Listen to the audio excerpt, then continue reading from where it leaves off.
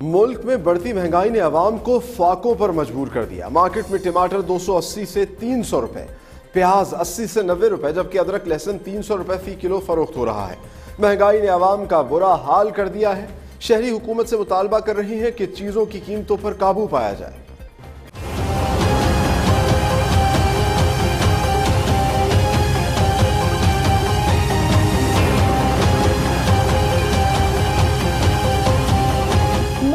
में महँगाई की हालिया लहर जारी। सब्जियों की कीमतें आसमान से बातें करने लगी। गरीब आवाम के लिए गोश्त तो क्या?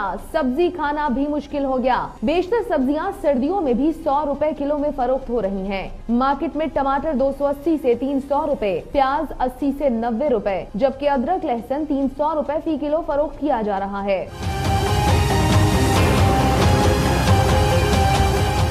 बुलंद रेट्स ने खरीदारों के होश उड़ा दिए।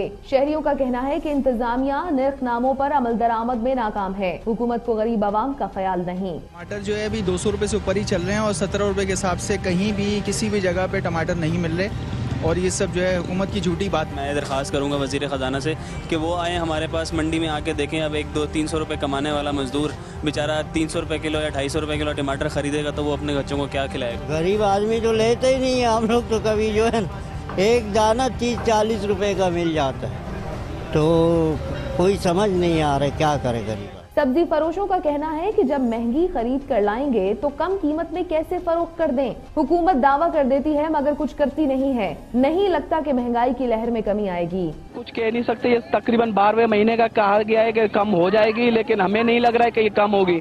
कल दो सौ रुपये किलो टमाटर था आज तीन सौ बीस रुपये किलो पे पहुँच गए। महँगाई ऐसी आवाम का बुरा हाल है और हुकूमत ऐसी मुतालबा कर रहे हैं की चीज़ों की कीमतों आरोप काबू पाया जाए।